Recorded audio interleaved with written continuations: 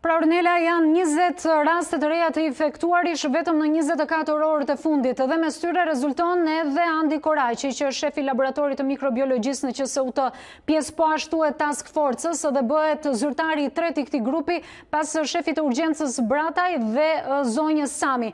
Në fakt Ornela ne zotin Koraqi e kemi pasur në komunikime edhe në studion tonë pasi rezultoi pozitiv zoti Brataj dhe ai deklaroi në fakt se Nuk e shihte të nevojshme që ta kryente tamponin, testin.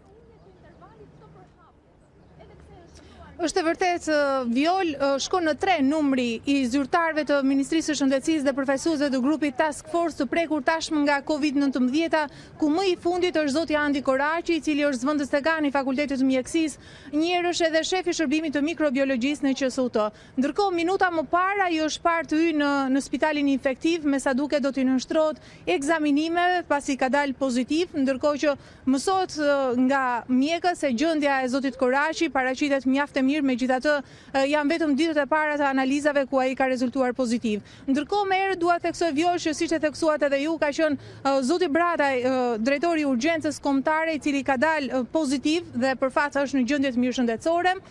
E dyta ka qenë zonja Mirela Cami, drejtoreshë e shërbimit, e operatorit shëndetësor të Tiranës, e cila dhe ajo ndodhet e vetëkarantinuar në ambientet e shtëpisë dhe ajo në gjendje të mirë shëndetësore dhe tashmë është i treti përfaqësuesi i grupit Task Force dhe Komitetit Teknik, zoti Andi Koraqi. Po, në njëzet e katër mars është pyetur nga A dy Si En En nëse zoti Koraqi do t'i nënshtrohej testeve pasi në mbledhjen e dhjetë marsit ai ka qenë fare pranë zotit Brataj, kanë qenë të dy duke biseduar dhe në mbledhjen e zhvilluar nga ministrja e Shëndetësisë Ogerta Manastirliu, por zoti Koraqi tha se Nuk ishte e nevojshme për t'iu nënshtruar një testi të tillë, pasi nuk kishte shenja dhe ndihej mirë. Por gjithsesi Viola le të ndjekim një pjesë nga prononcimi i zotit Koraqi bërë në njëzet e katër mars për A dy CNN dhe rikthehemi sërish. Ju qëndronit në datën dhjetë mars përkrah zotit Brataj në mbledhjen e Task Forcës. A keni frikë se jeni infektuar tashmë? Keni kryer një test? Jo, nuk është se kam kryer një test, nuk është se Jam i frikësuar, që nga 10 marsi ka kaluar shumë kohë.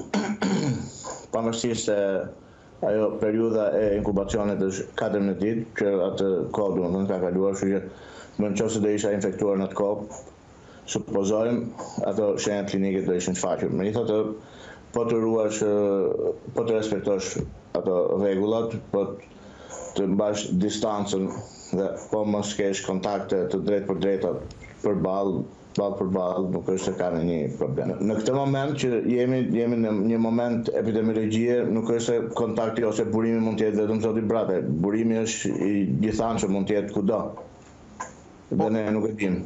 Po task-forca që qëndron praktikisht në vijën e parë të të gjithë kësaj beteje sa rrezikohet? Task-forca rrezikohet njësoj si të tjerët.